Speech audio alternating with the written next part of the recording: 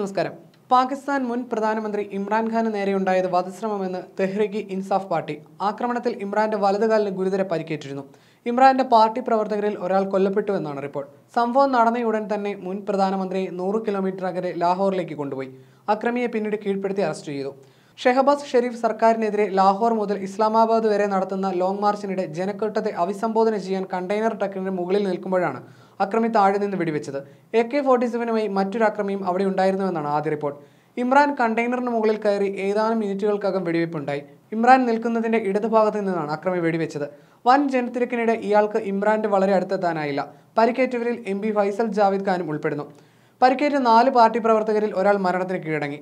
ഇസ്ലാമാബാദിൽ നിന്നും ഇരുന്നൂറ് കിലോമീറ്റർ അകലെ ഗുജ്റൻ വാലയിലാണ് ആക്രമണം നടന്നത്. സൈന്യത്തിന്റെ വിശ്വാസം നഷ്ടപ്പെട്ടതോടെയാണ് എഴുപതുകാരനായ ഇമ്രാനും സ്ഥാനം ഒഴിയേണ്ടി വന്നത്. അതിനുശേഷം സൈന്യത്തിനും ഐ എസ് ഐക്കുമെതിരെ ശക്തമായ പ്രചരണത്തിലാണ് ഇമ്രാനും പാർട്ടിയും ആക്രമണത്തെ പാക് പ്രധാനമന്ത്രി ഷെഹബാസ് ഷെരീഫ് അപലപിച്ചു.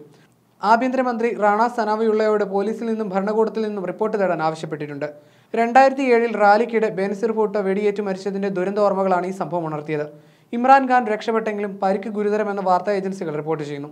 ലോങ് മാർച്ചിനിടെ ഇമ്രാനുമായി അഭിമുഖം നടത്തുന്നതിനിടെ വാഹനത്തിൽ നിന്ന് താഴെ വീണ് കഴിഞ്ഞയാഴ്ച മാധ്യമപ്രവർത്തകർ മരിച്ചിരുന്നു. ഇമ്രാൻഖാനെ അഭിമുഖം ചെയ്യുന്നതിനിടെ അദ്ദേഹം സഞ്ചരിച്ചിരുന്ന കണ്ടെയ്നറിൽ നിന്ന് താഴെ വീണാണ് ചാനൽ ഫൈവിന്റെ റിപ്പോർട്ടർ സദഫ് നെയ്ം മരിച്ചത്. സദഫ് നയിമിന്റെ മരണത്തെ തുടർന്ന് ഇമ്രാൻഖാൻ ലോങ് മാർച്ച് താൽക്കാലികമായി നിർത്തിവെച്ചിരുന്നു. ഇതോടെ റാലി ഗുജറൻവാലയിൽ എത്താൻ വൈകുകയും ചെയ്തു. സദഫ് നയിമിന്റെ മരണത്തിൽ ദുരൂഹത തുടരുകയാണ്.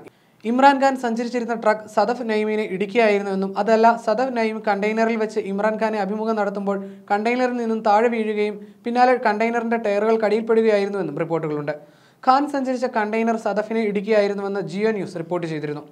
രാജ്യത്ത് പൊതു തെരഞ്ഞെടുപ്പ് പ്രഖ്യാപിക്കുന്നതിന് സർക്കാരിന് മേൽ സമ്മർദ്ദം ചെലുത്തുക എന്ന ലക്ഷ്യത്തോടെയാണ് ഇമ്രാൻഖാന്റെ തെഹ്രിക്ക് ഈസ് ഇൻസാഫ് പാർട്ടി കഴിഞ്ഞ വെള്ളിയാഴ്ച ലാഹോറിൽ നിന്ന് ഹക്കിഗി ആസാദി മാർച്ച് ആരംഭിച്ചത്. ശനിയാഴ്ച മാർച്ചിൽ പങ്കെടുക്കാതെ ഇമ്രാൻഖാൻ ലാഹോറിലേക്ക് മടങ്ങിയതാണ് സർക്കാരുമായി ചർച്ചകൾ നടന്നെന്ന് അഭ്യൂഹമുയർത്തിയത്.